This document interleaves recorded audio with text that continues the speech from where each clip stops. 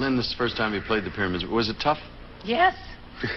I'm having such a good time, though, that the difficulty factor is kind of balanced, I think. I'll tell you one thing. It is, it is tough.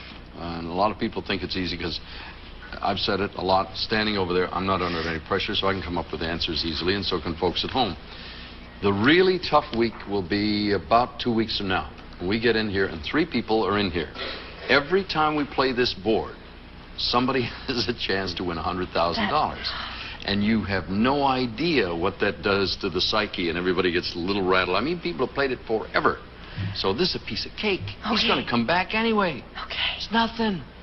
You're going to go for $25,000. I hate you, I hate you, I hate you. Uh, anyway, you know about that, Art. Please have fun with it. Let's go for the $25,000. Here is your first subject. Go. Vinegar and oil. Things you put on a salad. Salad. Kinds of dressings. Oh, I'm going to blow your house down. I'm going to the eat old this man sheep. Winter would. Oh, what the big bad wolf would say.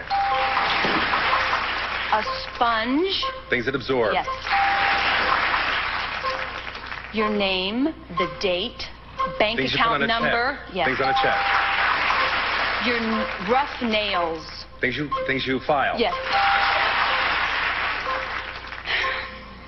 Cars. Disastrous airplanes. Um, symbols. Things that crash. Hey,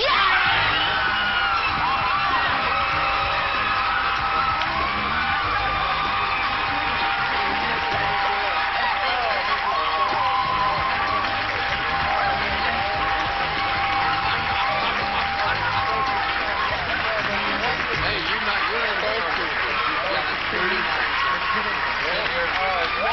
not, you're in the You got a 39. The coach back here, who's this? This is my friend Brian Nevsky. All right. We're in the vocal group together, voiceover group. Shikabiddy. This, do you know this game? Have you helped him with it? He's been driving me nuts with it.